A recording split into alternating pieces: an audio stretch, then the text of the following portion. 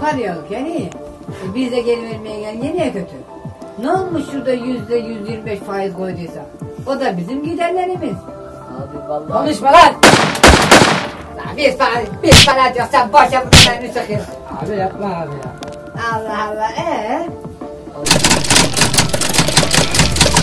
E, para nerede? Abi para işte. Para nerede? Para nerede?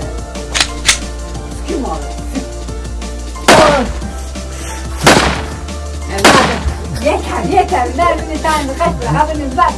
Biz burada para para. Bir daha gecikmede mermi parası dahildir. Bir tanesi firmamızdan, gerisi ait.